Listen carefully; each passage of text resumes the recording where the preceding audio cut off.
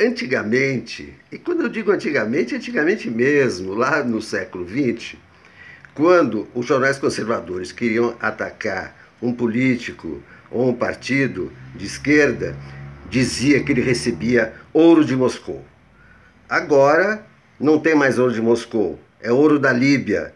É o que diz a Veja dessa semana, a capa, a bomba de Antônio Palocci. Segundo essa, essa bomba de Antônio Palocci, ele teria provas de que em 2002 o ditador Gaddafi deu um milhão de dólares para a campanha do Lula. Tudo bem, e as provas?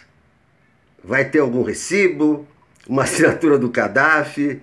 Se realmente existiu essa operação? É, o que eu duvido, porque o, PT ia correr um risco de desaparecer por causa de uma contribuição de apenas um milhão de dólares numa campanha que custa muito mais.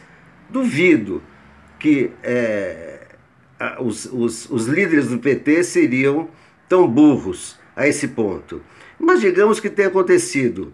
Vai ter recibo, vai ter assinatura do Gaddafi, vai ter confirmação do Gaddafi que já está morto. Não, não vai. Mas é, de qualquer maneira, a Veja aproveitou para dizer que com isso o PT pode ser caçado definitivamente, né?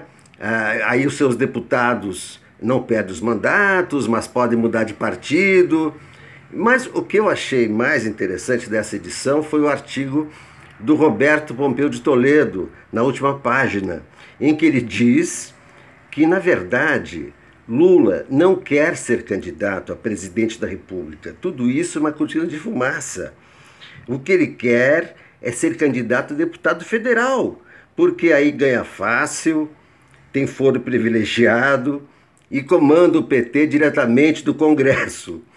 Eu acho que a Veja deveria se assumir definitivamente como revista de humor. Faria muito mais sucesso.